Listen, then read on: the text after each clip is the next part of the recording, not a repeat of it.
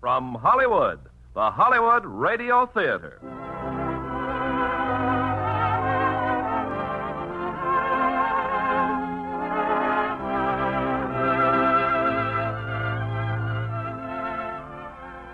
Starring Tyrone Power and Linda Christian in The Mississippi Gambler. Ladies and gentlemen, your producer, Mr. Irving Cummings. Greetings from Hollywood, ladies and gentlemen. One of the most colorful eras of American history took place along the mighty Mississippi. It was a period of gorgeously gowned ladies, escorted by impeccable gentlemen, whose code of manners was determined whether dancing at fancy balls or gambling on the riverboats. Tonight we recreate this era for you in Universal International's highly dramatic love story, The Mississippi Gambler. And as our stars, we have chosen a perfect romantic team Tyrone Power and Linda Christian in their first appearance together on radio. Now, Act One of The Mississippi Gambler, starring Tyrone Power as Mark Fallon and Linda Christian as Angelique Duro.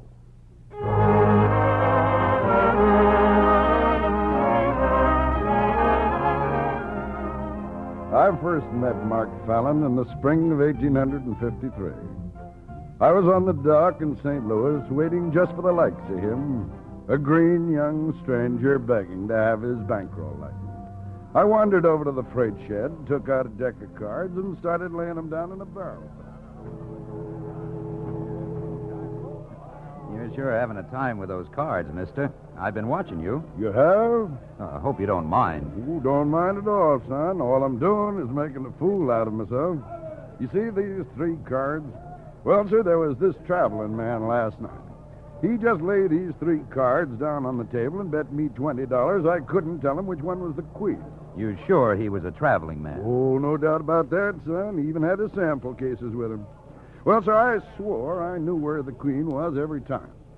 By jingo, when I bet my $20, You lost. well, anyway, give me the cards to practice with them. You know, you might end up a gambler. Gonna try it on the folks back home till I get my money back. Uh, maybe get my money back right now. Me? These three cards. Now, was you a betting man, son? I got $20 here. Says you can't find that queen. Done. All right. Which one's the queen? You sure you want me to tell you? Why, son, you just bet me $20. In that case, the queen's in your left hand, just where you palmed it.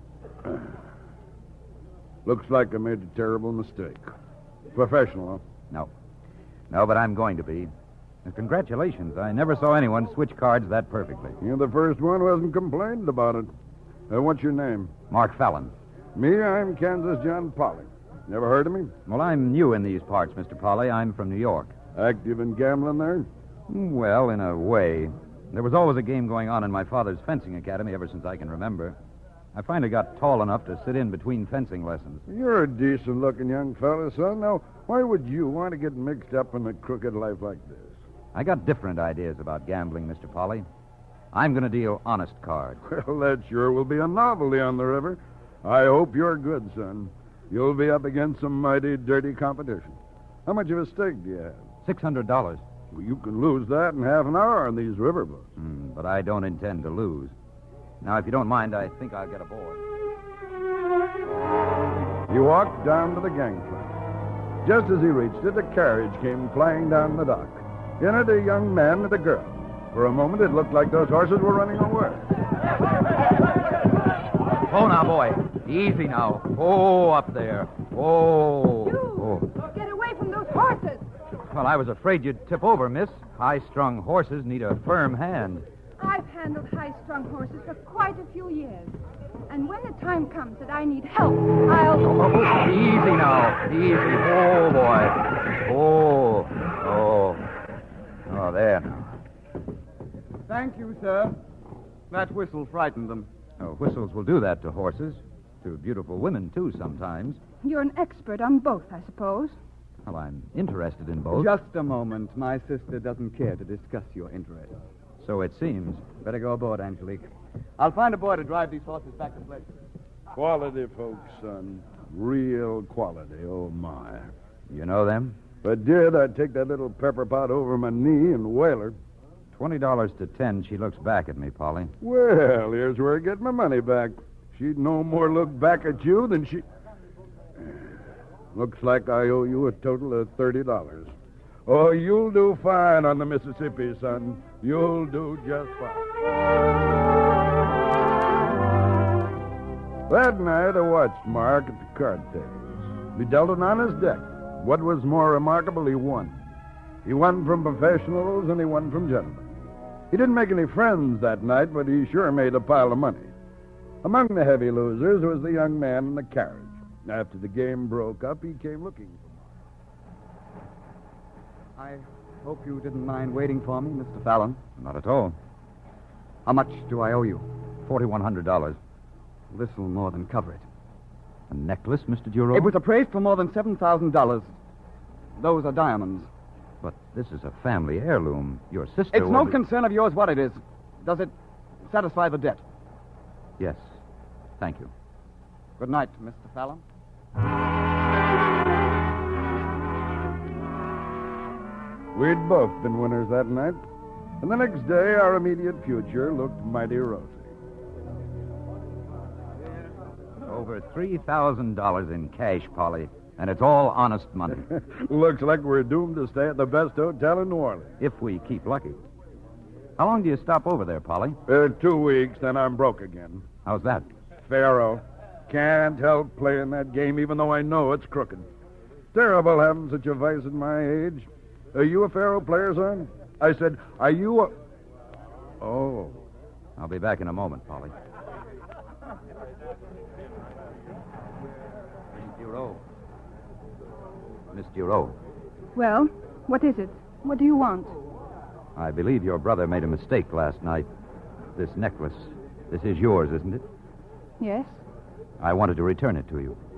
How do you mean, a mistake? Well, I won from him at cards. He'd been drinking a bitter. I don't think he'd have chosen this. My brother doesn't take my property without my permission. I'm sure of that. It's very beautiful. You must value it highly. I've just one thing to say to you. I don't speak to strangers, nor do I ex- accept charity from gamblers. Good afternoon. Good morning, my sweet sister. Laurent, how could you dare steal my necklace? Your necklace? I... You gave it to that gambler. He showed it to me. Oh. I'm sorry, Leah, but I, I had to. Why? Because I'm a fool. Sitting down with those card sharps, they took all my cash and 4000 besides. And you take the one thing I love more than anything I have. The necklace was mother's, grandmother's. It will break father's heart. How could I'm you? sorry. Please, Leah. Please forgive me. Poor Laurent. Nothing is important enough to ever come between us. Least of all a quarrel over a gambler. I'll make it up to you, Leah. I, I promise. Um, meanwhile, I, I'll think of something to tell Father. We'll tell him the truth. Yes. Yes, I suppose we'll have to. To Mark, there was no city in the world like New Orleans. He wanted to see every foot of it, especially the street they called Exchange Alley. I won't be long, Polly. An hour or two, I'll meet you here in the hotel. What's all this excitement about Exchange Alley? Ah, I've dreamed about seeing it ever since I was knee high. My father told me all about the schools there, the finest outside of Paris. He called it the Street of the Fencing Masters. Playing with swords, huh? Well, just remember this. New Orleans is filled with the same breed of cat as that Duro fellow with the necklace. Uppity young Creoles. They want a duel every time you sneeze near 'em. My best behavior, Polly.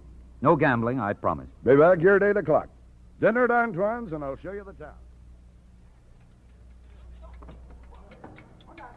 Mark showed those young Creoles with their fancy French names that he was a match for any of them when it came to fencing.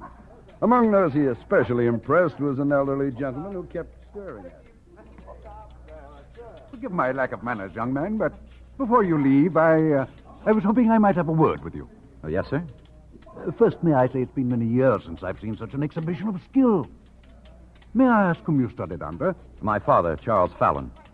Fallon, of course. I knew your face reminded me of someone. Why, Charles Fallon once taught in Paris. Yes, sir. Years ago. I told my friends I remembered that low inside line attack you employ. Why, I was at your father's academy many times. He's well, I hope. He died three months ago in New York. Ah, I'm sorry. My apologies. Please take my card, Mr. Fallon. I'd enjoy having you call at my house. Emile Duro. Is Laurent Duro your son? Yes, you know him. I met him and your daughter on the boat. Splendid. They'll be quite delighted as I am. to- I, I don't think they would want me to call, sir. Why not? I'm a river gambler. Oh, ridiculous. No one with your skill at foils could have spent much time at a gaming table. How long have you been on the river? Less than a week, Shall we say tomorrow afternoon at four? if you wish, sir. Thank you.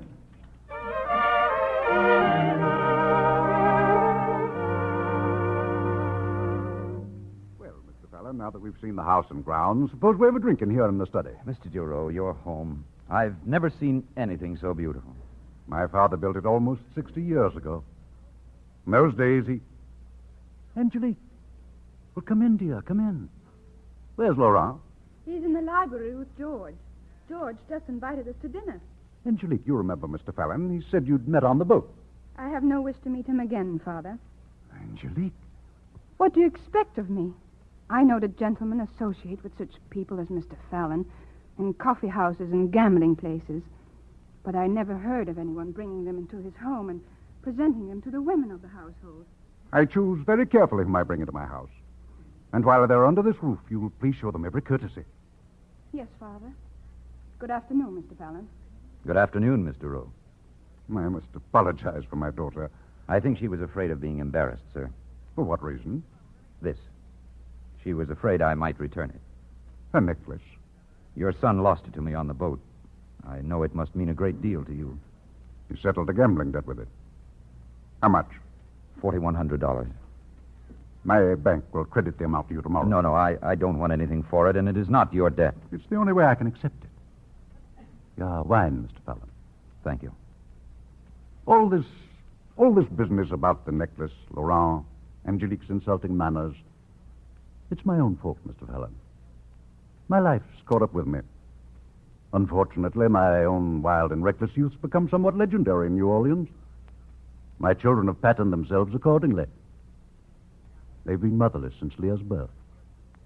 I, I've never been able to be a stern disciplinarian. The first time I met your daughter, I, I told her that high strung horses need a firm hand. I wasn't given a chance to say much more. so another reason you came here today was to see her, huh? Yes, You find her interesting? very. She can also be charming. However, I, uh, I, I should tell you, this young man she mentioned a moment ago, George Elwood, it uh, wouldn't surprise me, Mr. Fallon, if someday Angelique and George were to marry. Oh, I. Oh, forgive me, I, I didn't know. Oh, for the moment, George is just a friend, but uh, a dear friend. But then I. I may see your daughter again?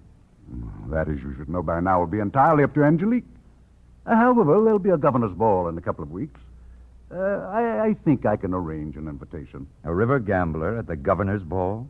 I regard you as a welcome guest and a friend until you prove yourself something less. I think you can trust me, Mr. Duro. Thank you.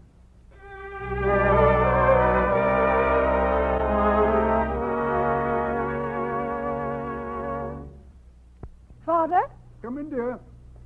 George just told me you were driving with us to the ball. I'm so glad you are. Am I so charming a chaperone? Or, uh, or is it that you wish to keep George from proposing again? Both, my wise darling. He wants to announce our engagement. It's all he talks about since he became president of the bank. He's going to settle down. He promises to work hard. He loves me, and on and on.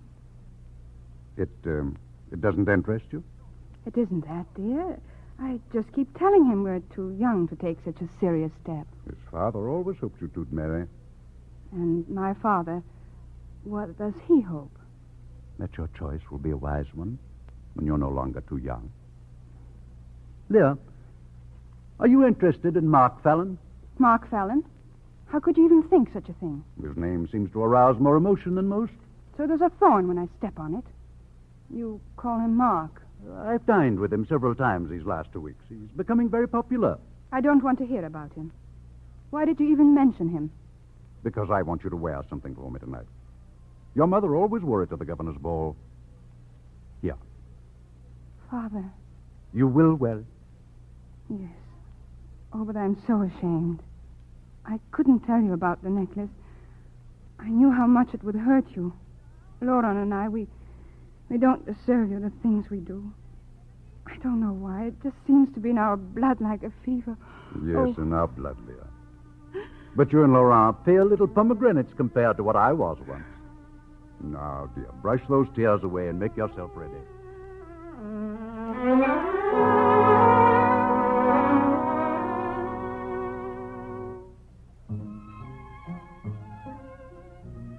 Kind of you to dance with me, Miss Giroux. It would have been a great pleasure to have refused you, Mr. Fallon.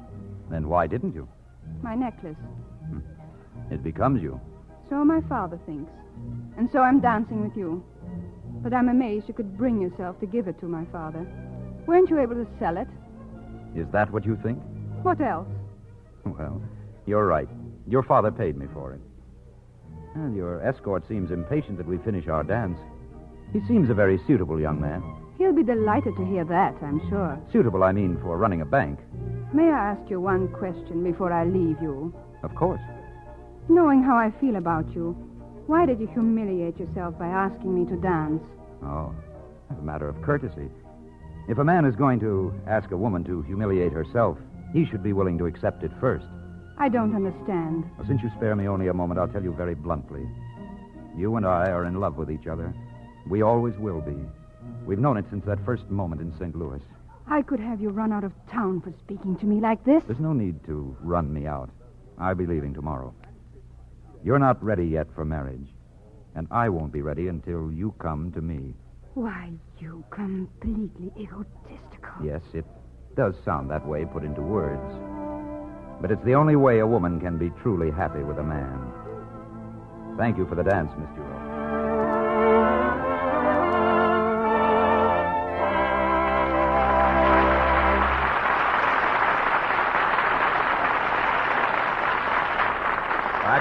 Of the Mississippi Gambler in a moment.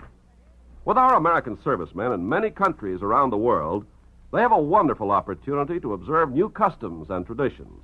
What might have seemed strange before is becoming pretty familiar to them. For instance, take this business of superstitions or omens. In Holland and Germany, if you meet a left handed person on a Tuesday morning, that's a bad omen. In Sweden, if you turn around when starting out on a business trip, it's liable to turn out badly.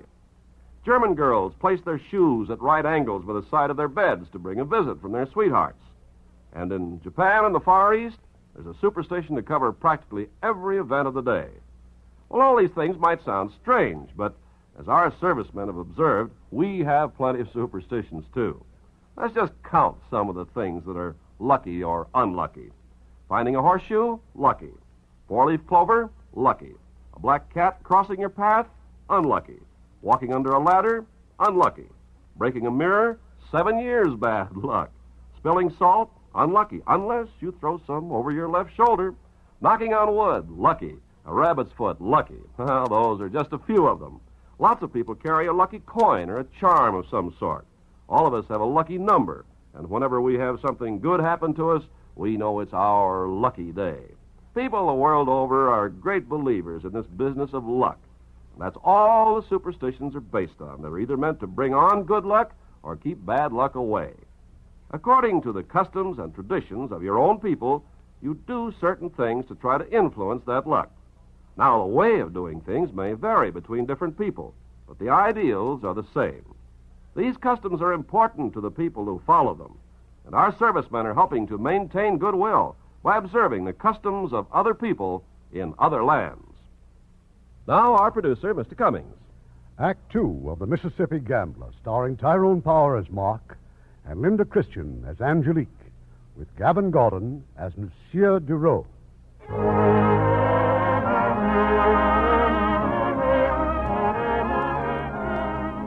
We left New Orleans, Mark and I, and went back to the riverboats. It was a fine, easy life, gambling all night, sleeping and lazing all day, and watching the sights along the riverbank. The weeks went by, and our bankroll grew fatter and fatter. Uh, what are you thinking about, Polly? Counting all that cotton money we won last night? Well, I'm thinking about that cash you made me put in Elwood's bank in New Orleans, hundreds of miles away, and other fellas feeling it and fingering it. I'm not used to that. You know what we're going to do when we get enough, Polly?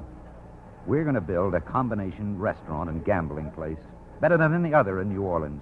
Rich, exclusive, with crystal and silver. Everything to lure the ladies and keep them happy while they gamble. Ladies, gamble? Where'd you get that crazy idea? Well, where else can they go when their husbands gamble? Tea parties, sewing circles, sit home alone? They're bored, Polly. They want the same excitement their husbands enjoy, and we'll supply it for them. Not me. You try any crackpot ideas you want, but you're not going to get me off this river. Uh, you'll come running the minute I get those faro tables in. I like 'em better when they're on boats. How long have you been on this river, Polly? Almost 30 years. Did you ever feel it was a lonely life? Mm, yes, when I was young, I'd find myself wishing all the pretty girls would take to boat traveling instead of hiding in those houses ashore.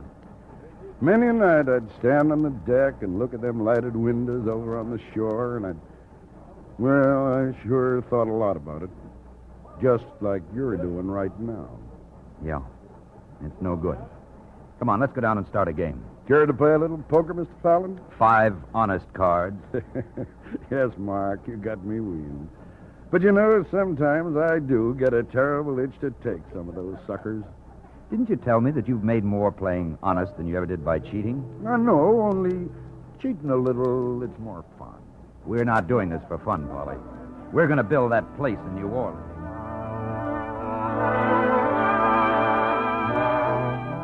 Early in the game, a young man asked to sit in. I couldn't figure him out. Money in every pocket, but any fool could see he was neither a rich southern planter nor a man used to much money. Mark wanted him to quit, but he'd have none of it. He was cleaned out before midnight. Excused himself politely, went up on deck, and shot himself. How is he, Captain? Will he live? He's dead, Fallon. Oh. Apparently his aim was a lot better than his poker playing. You win all his money? Yes. Well, now, don't go blaming yourself. I heard how you tried to get him to quit. Is there anything I can do? Nothing. He has a sister aboard, but that's my job, telling her. I'd like to go with you, Captain. Yeah, all right, Fallon, come along. Captain Everett, good evening. Well, come in. Uh, this is Mr. Fallon, miss. Uh, we come to. Well, I, I'm afraid we have bad news, ma'am. Your brother. Julian, what's wrong? He shot himself, miss. Where is he? It's no use, Miss Conant. But I've got to go to him. I wish I could say different, but there's nothing anyone can do. No. Oh, no, he wouldn't. He'd never do that. There's no reason. Could, could you tell us your parents or, or someone we could reach for you? We have no family, no one. I can't believe it. Julian would never. He was carrying money for his firm. Someone else did it to rob him. Miss Conant, I, I'm afraid your brother Your was- brother wasn't robbed, Miss Conant. Very wisely, he left his company's money with Captain Evers for safekeeping. Isn't that so, Captain? Oh, Yes, yes, of course. We'll be landing tomorrow, miss. I'd like to offer my help. Anything I can do now or or in New Orleans. I'm very grateful. I don't know anyone there. I'll see you in the morning, Miss Conant.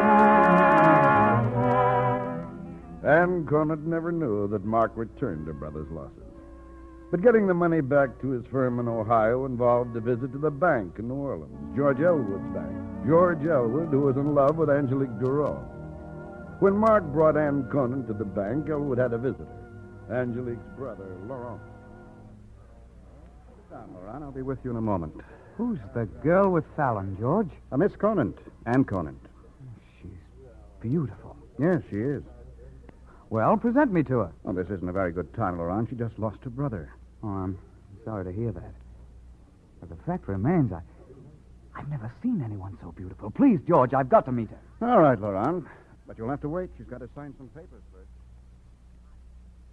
You've been very kind, Mr. Elwood. Thank you for your help. Well, that's quite all right, Miss Conant. And now, may I present my friend, Laurent Duro. How do you do? Miss Conant. Good morning, Mr. Fallon. Mr. Duro, you'll forgive Miss Conant. She should get back to the hotel. I understand, of course. my deepest sympathy. If there is anything I can do, please let me help. Mr. Elwood knows where I may be reached. Thank you. My regards to your father, Mr. Duro, and to Angelique. Thank you. They'll be delighted, I'm sure, to learn you're back in New Orleans.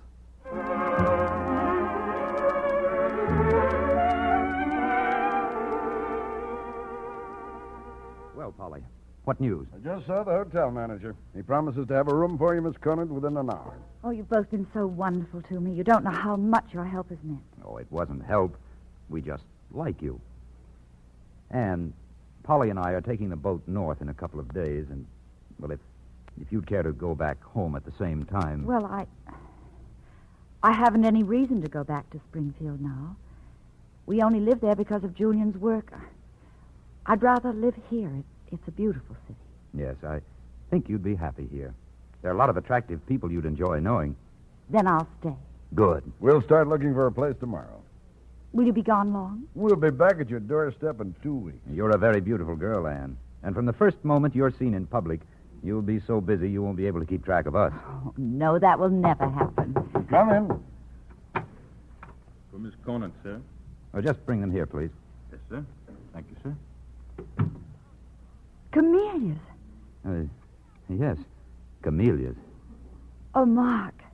I, I'm sure there must be a card among. Oh, how could you have guessed they're my favorite? Oh, this card. Laurent Duro. Oh, yes, the man at the bank. You've been seen in public already. Now let's order some lunch. Anne Conant stayed in New Orleans. In the weeks that followed, Mark and I spent most of our time on the river. But whenever the boat returned to New Orleans, we'd hear more and more rumors of Anne and Laurent Duro and how madly in love he was. It means I want to marry you, Anne. I I love you. I can't wait any longer to tell you. Oh, Laurent. But you can't be sure of what you're saying. You've known me for such a short time. It isn't fair. You've to become my whole life since the moment I saw you. I, I've never been in love before. I, I never knew anything could be so perfect. And yet, such torture. I, I give you my life's devotion, Anne. Will you marry me? Today, now. I'm sorry, Laurent. You've been wonderful to No, me. but- no, no. You, you can't refuse me. Not yet. I, I didn't have any right to ask you so soon. I, I'll wait for your answer uh, till you've known me longer. Oh, Laurent. It's better that I tell you now. Please don't go on hoping. I can never be in love with you. Because you're in love with someone else? Yes, I am. Mark Fallon? Yes. How can you waste your love on a man like that? How can you throw it in the gutter to someone who doesn't even deserve to look at you? Please. Cheating you, too. He's cheating everyone. Has he told you that he's in love with my sister? Your sister? He's been in love with her ever since he came here. You think of loving anyone like that? Just go, Laurent. Please. Please go. That same night, Mark and I were back in New Orleans. We stopped off for a drink at the Rochambeau. At the bar was Laurent Duro. I've been thinking of you, Fallon. You couldn't have come back at a better time. Do you mind if I ask you a question? Something troubling you, Duro? Yes. How many women do you want? You're not satisfied trying to get my sister, huh? Go on, please. Come on, let's get out. You keep out of this, Andre. You're lying to Anne about me, trying to break us up. You want her for yourself in the flat you so thoughtfully got for her. You're her. a drunk, Duro. Go home with your friend and sober up till you can talk sense. Well, maybe that makes sense to you. I'll meet you at the dueling oaks. If you can leave your women long enough. Whenever you like. Our seconds will settle that. All right, Andre. I'm ready to go home.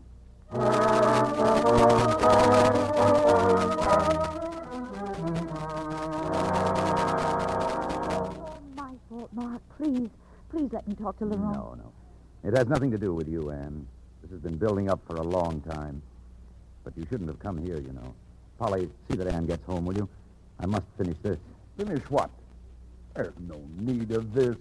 You'll win hands down. Oh, Will, dividing everything between Miss Conant and me. Are you crazy? Then you do think something might happen. No. No, not really. Polly, you'll act as my second. Uh, just don't make too many side bets. Come in. I'm Andre Brion, Mr. Fallon. I've come on behalf of Laurent Leroux. Oh, this is Miss Conant and Mr. Polly. Mr. Fallon, uh, I, uh, You can speak freely. thank you. If I may meet with your second, sir, to uh, arrange a meeting. Let's do without the formalities, shall we? Let's say tomorrow morning at 6 o'clock. Very good. As the challenge party, you have the choice of weapons, sir. Pistols. Pistols? You are crazy. They'll fight with swords. Tell that to Duro. Swords. You'll forgive my friend, Mr. Brion. He worries too much. My choice is pistols. Thank you, sir. Good evening. Polly,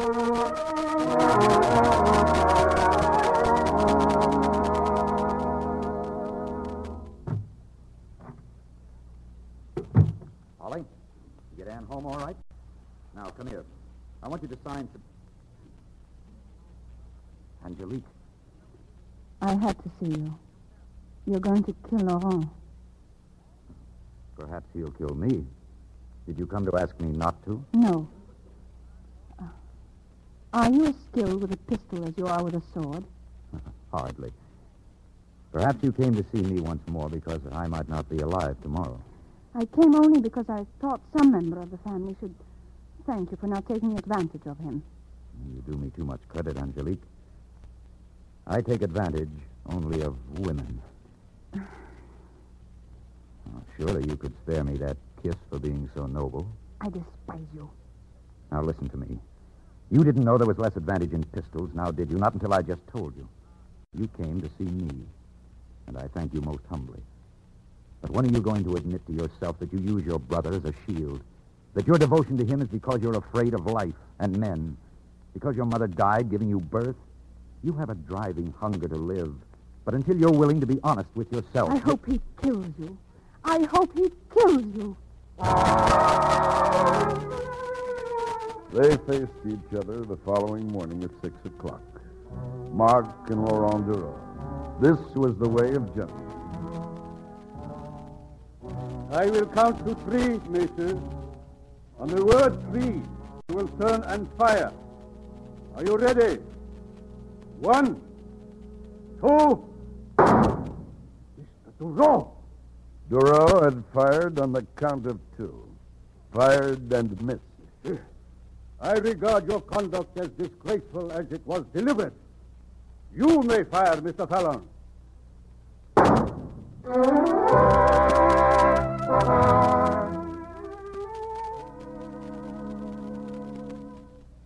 What are you doing here, Angelique? It's your brother I want to see. Laurent told me what happened. I have a right to hear. Yes, Father. Is there anything you want to tell me? I'm sure you know all about it by now. How I fired on the count of two and how that worthy gentleman preferred to fire into the air rather That's than... enough. You will leave this house at your earliest convenience. Goodbye, Father. No. No, you can't ask such a thing. I have nothing more to say. You do that to him when he needs you the most. You can't. Father, if Laurent leaves, I leave with him.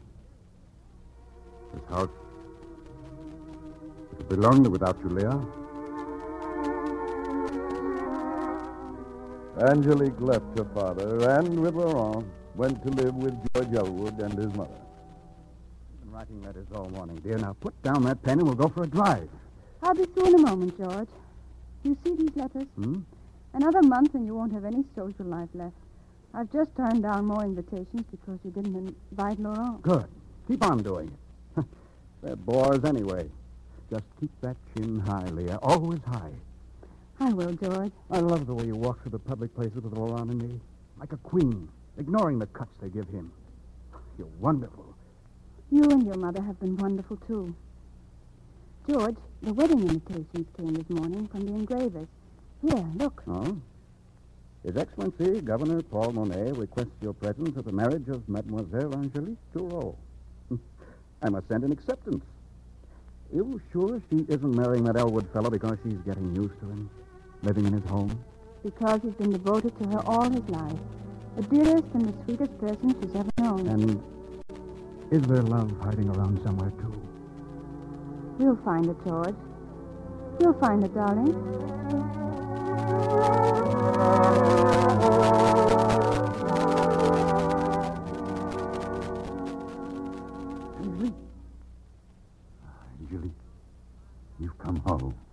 I couldn't stay away, Father, and have a servant bring you my wedding invitation. Thank you, darling. There. You, you and George, uh, are are you quite sure, dear? George and I grew up from childhood expecting to be married.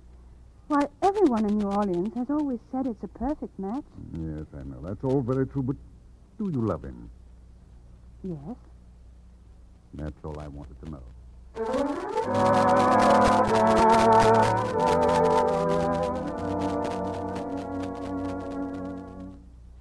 sit down, Mr. Duro. Yes, I. I received a wedding invitation this morning. Mark, you and I, we, we can talk bluntly. You love her, don't you? Yes. Yes, I love her. Then put a stop to this. Go and get her. Do you really believe that she knows herself well enough yet to find happiness in marriage to anyone? It was just a hope. You'll come to the wedding? No. I'll go back on the river where I belong. If there's if there's any message you'd like me to give Angelique, Now, don't don't think me rude, Mr. Duro. But if I had any message, I'd deliver it in person. Once, long ago, I told her I'd wait until she came to me. I'll continue to wait.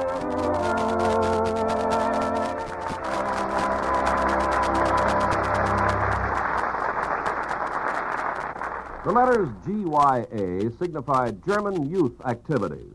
And wherever such an organization exists in Germany, you know that there the way of democracy is being taught and encouraged. Our occupation forces are helping out through GYA, developing healthy interests through group handicrafts and hobby projects. A girl by the name of Helga is one example. She was pretty confused when she joined a GYA group. Her father had been very much anti American, and she reflected his ideas. Luckily, she won a trip to Switzerland in a handicraft contest. Once on the trip, Helga learned that the Swiss people and the American women in charge of the tour were very different than her father had pictured non Germans. Well, she won't change overnight, but she wants to learn more about the workings of democracy, and her education is continuing through GYA. Such acts by you and your friends today are shaping our world of tomorrow.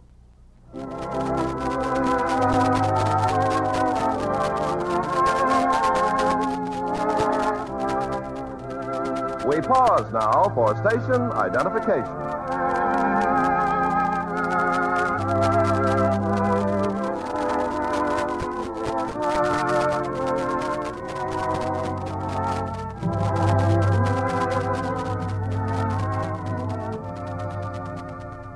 Curtain rises on Act Three of The Mississippi Gambler, starring Tyrone Power as Mark and Linda Christian as Angelique, with Gavin Gordon as Monsieur Duro.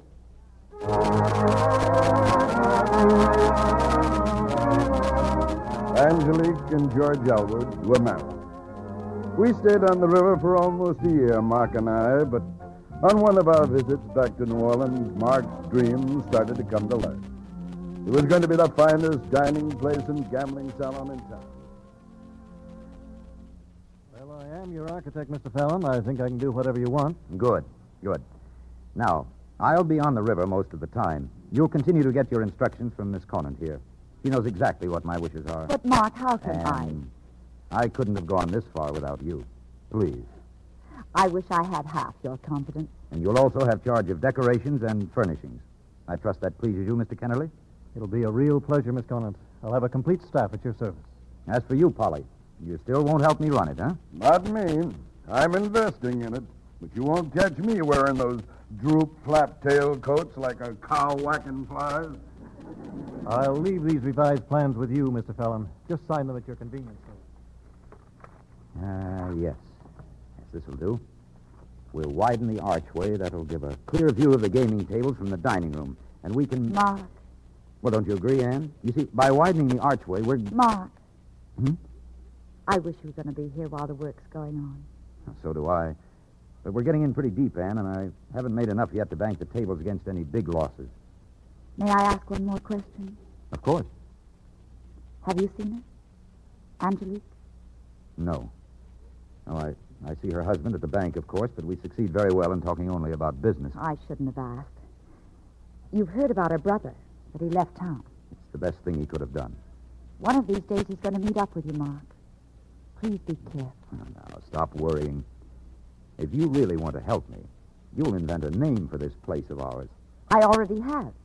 La Louisiane. La Louisiane. Perfect. We've got our name, Polly. La Louisiane.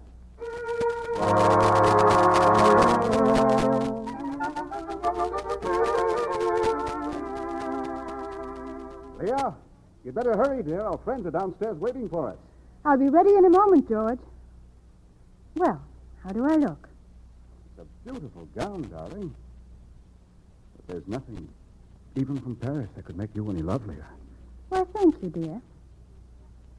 George, you're staring at me. Am I?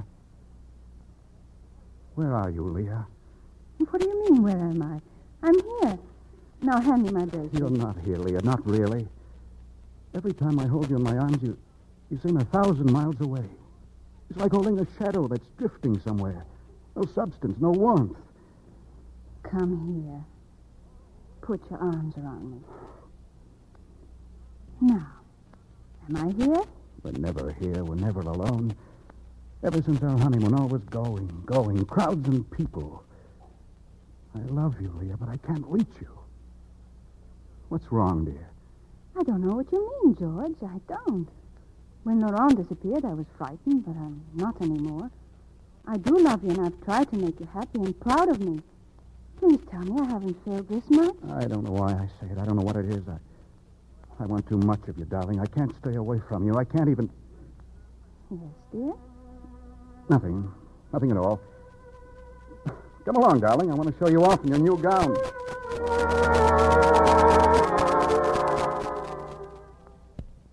I suppose that sooner or later it was bound to happen. The linking together of Anne Conant's name with Mark's, especially now that she was seen so often at the building of La Louisiane. Well, gentlemen, Fallon boasted about building a showplace. It appears he's as good as his word. But who's that delightful creature talking to the architect? Don't be naive, Cartier. Fallon's luck goes far beyond cards. Having a companion like that beauty. That's a lie, Mr. Carnes. I am not in the habit of lying, Mr. Duro. Miss Conant's a lady. Fallon's a gentleman and my friend. I must ask you to retract that slander. I'll retract nothing. Oh, come now, Duro. Men don't rent flats for women or let them design gambling palaces unless they. You leave me no choice. I'll name my second this afternoon. A pleasure. We were on the river when the duel took place. Mark hurried back as fast as he could. He had something to tell Mr. Duro, and his heart was never heavier. It's Mark Fallon, Father. You'll want to see him alone. No. I'll stay, Angelique. Stay. Mr. Duro, I'm grateful to you for defending Miss Conant, but you should have waited for me. I never ignored an insult to a lady, Mark. You must hurry and get well. You gave me your word you'd be at the opening of La Louisiane. No. No, I won't be there. No regrets. I've lived a long life. My era, it belonged to the sword. Fading with me. Perhaps for the best. There's something I must tell you, Mr. Duro. You and, and Angelique.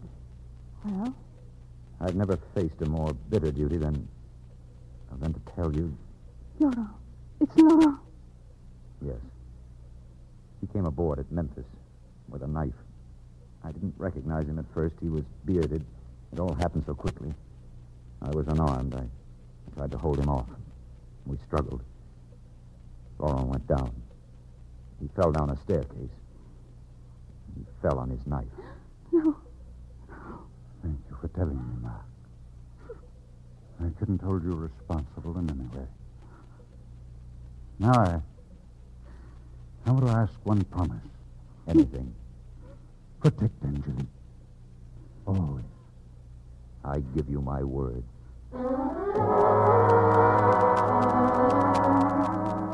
Mr. Duro died a few hours later. Before he left the house, Mark asked George Elwood if he could see Angelique alone. There's very little you can say, and even less I want to hear.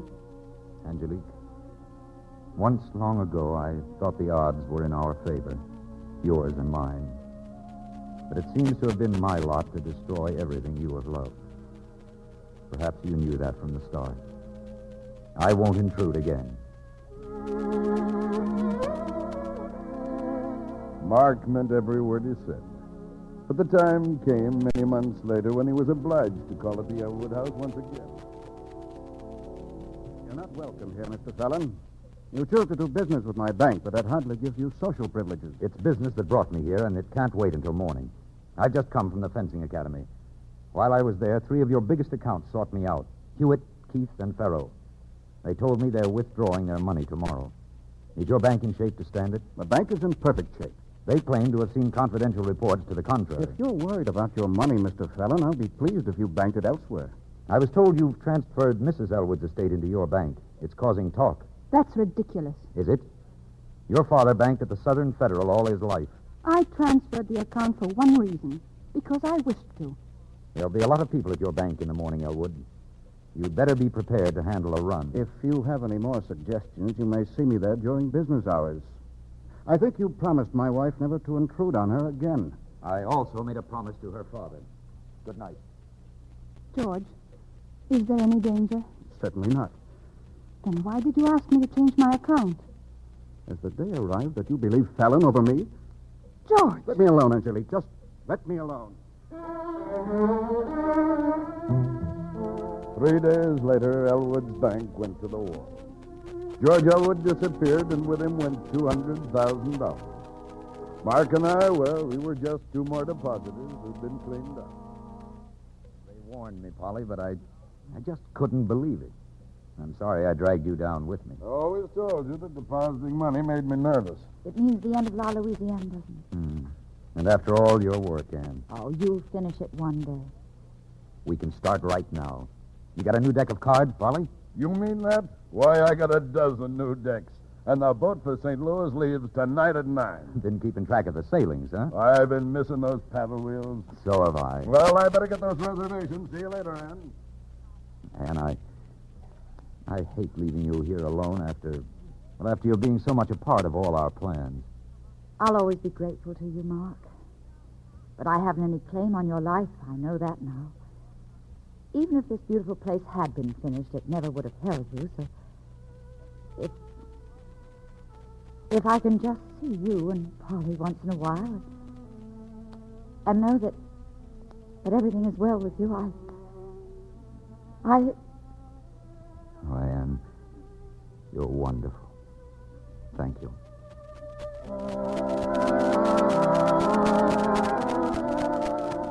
In the months that went by, Mark never lost track of Angelique.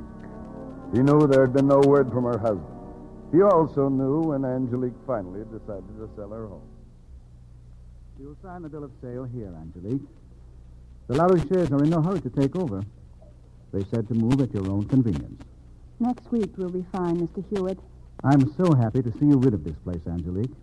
To close this whole unhappy chapter of your life. You're going back to your own home? I don't know. I haven't been there since my father died. I think he would have wanted you to live there. Let me know what you decide. I will, Mr. Hewitt. Thank you.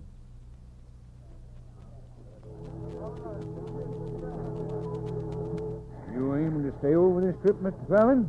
New Orleans is a mighty gay town this time of year. I'll be leaving when the boat leaves, Captain. Well, tonight, 10 o'clock. You can count on me. Fine. Say, ain't that Mr. Polly there on the dock? Yes, he, uh, he missed this trip. He had some business to attend to for me. See you tonight, Captain. Well, I've got good news for you, Mark. Better still, you can read about it for yourself. It's right here in the newspaper. Angelique, is everything all right, Polly? Yes, and this time I think you'll want to stop her. The court's handed down a decision. She's free. You know, you promised your father you'd always look out for her. Go to her, Mark. Try to see her. Oh, it, It wouldn't work out, Polly. It's better this way. Going back to her old home. She'll be there by now. No, I just told the captain I'll be leaving again on tonight's boat. Mm-hmm. I guess you know your own mind, Mark. After all, I never saw a man win all his bets. Now let's get into town. I've got some winnings to split with you. I left Mark at the hotel and I drove out alone to the old Duro mansion. I wanted to talk to Angelique, but I couldn't bring myself to go in. The house was dark, deserted. But I knew she was there. Her carriage was standing in front, and I saw a candle and the light moving from room to room, and I wondered how she could stand the loneliness and the memory. I've come back, Father. I've come back, Laurent. But it's so empty. So empty. When are you going to admit to yourself that you use your brother as a shield? Your devotion to him because you're afraid of life. Because your mother died giving you birth. You and I are in love with each other. We always will be. You're not ready for marriage yet. And I won't be until you come to me. Until you come to me. A moment later, I saw her rush from the house and her carriage with those high-strung horses dashing down the drive. Get us off that bow, Stand by the gangplank. Better hold her, Captain. Looks like you've got another passenger. There's a carriage coming down the wharf. Well, I'll be gone. Wait, wait. Well, now, ain't that something, Mr. Fallon? Pull in your reins, lady. We'll wait. I've waited a long time to see a sight like this. Hey, where you going?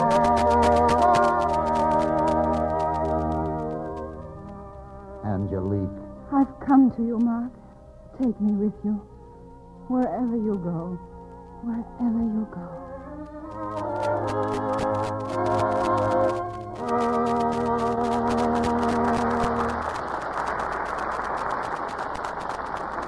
Now here's Mr. Cummings with our stars. Mr. and Mrs. Tyrone Power, won't you please step forward and accept your curtain call?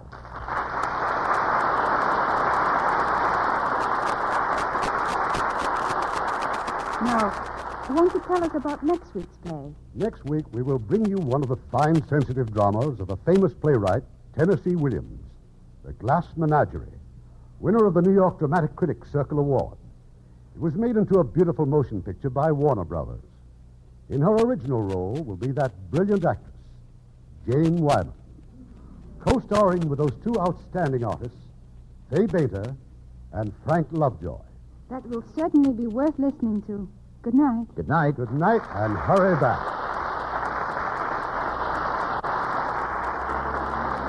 Heard in our cast tonight were Ted DeCorsia as Polly, Alastair Duncan as Laurent, Frances Robinson as Anne, John Stevenson as George, William Johnstone as the boat captain, Fred MacKaye as Andre, and Bob Bruce, Bob Griffin, Herb Butterfield, Barney Phillips, Gayne Whitman, and Eddie Marr.